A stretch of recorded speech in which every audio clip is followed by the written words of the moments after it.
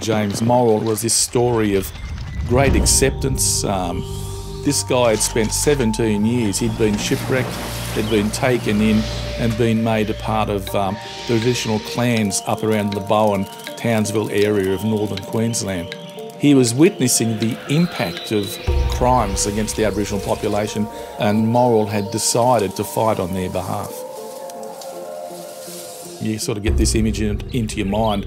Uh, there's a settler hut, a, a shepherd's hut, and there's a fence railing, and there's this wild man who's made his way down and has perched himself naked onto this fence.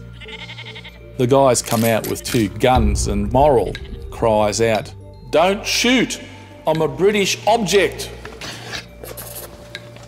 He was a, um, a much loved figure within this community, and that's why he went back. He could see that there was a major collision coming.